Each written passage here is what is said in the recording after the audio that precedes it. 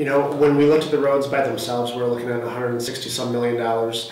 Um, a variety of the water estimates, we've seen so many different scenarios, but that's looking someplace to be roughly equal 150 to 180 million dollars.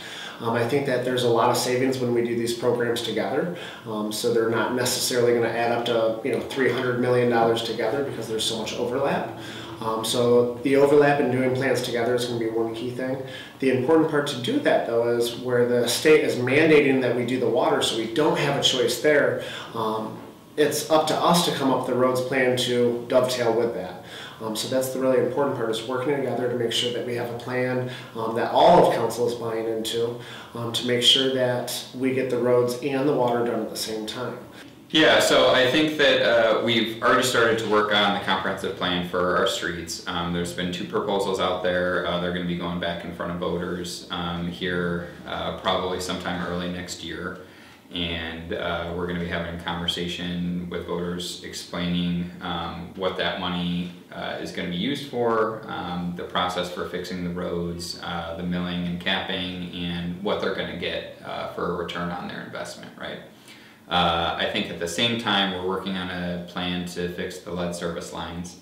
Um, between both of those, it's uh, upwards of close to near 250 million dollars, right? So you're talking like a problem with the lead service lines and the roads being about a quarter billion dollar problem that we have that we're currently not getting any funding from. Well, there's pros and cons on both. Um, on millages, um, they apply apply evenly, um, an even percentage of a person's home income across the entire city.